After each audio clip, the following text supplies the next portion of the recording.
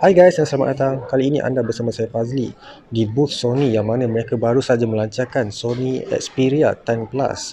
Sony Xperia ini menggunakan skrin 6.5 inci dengan sejenis panel IPS LCD tidak seperti Sony Xperia One. Ia menawarkan lebih rendah resolution seperti Full HD Plus dan masih lagi menggunakan nisbah yang agak tinggi ataupun agak lebar iaitu 21 by 9 sesuai untuk mereka untuk menonton wayang dan sebagainya. Rekaannya pun telah diubah berbanding Sony Xperia One yang mana rekaannya meletakkan desain yang metal.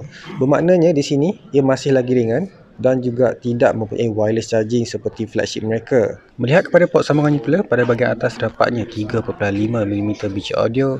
Di bahagian kanan pula, pada bahagian atas terdapat butang kuasa di bawahnya pula terdapat fingerprint scanner dan di bahagian bawah itu pula terdapatnya butang arah suara. Bergerak ke bahagian bawah pula terdapat USB Type-C yang boleh menyokong pencasan 3.0 quick charge dan juga pembesar suara serta mikrofon di sebelah kiri.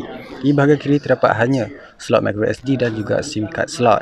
Chip pemprosesan yang digunakan di sini adalah Snapdragon 636 yang mana ini adalah kelas pertengahan dalam kategori Snapdragon kami tidak pasti kenapa Sony masih lagi menggunakan prosesor yang lama pada sebuah telefon yang boleh dikatakan satu premium smartphone.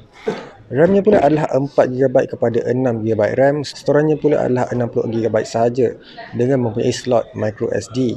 Kamera belakang mempunyai dual kamera 12MP dan 8MP. Ianya masih lagi dapat merakam 4K video yang mana untuk sebuah peranti yang mempunyai Snapdragon 636 masih lagi mampu merakam 4K video agak impresif. Seperti mana Android yang diperkenalkan pada tahun ini ia menggunakan operating system Android 9 dan bateri berkapasiti 3000 mAh dan sesuai digunakan bersama QC 3.0 ataupun 18 watt. Jadi itu saja dahulu pandangan pertama terhadap Sony Xperia 10 Plus ini.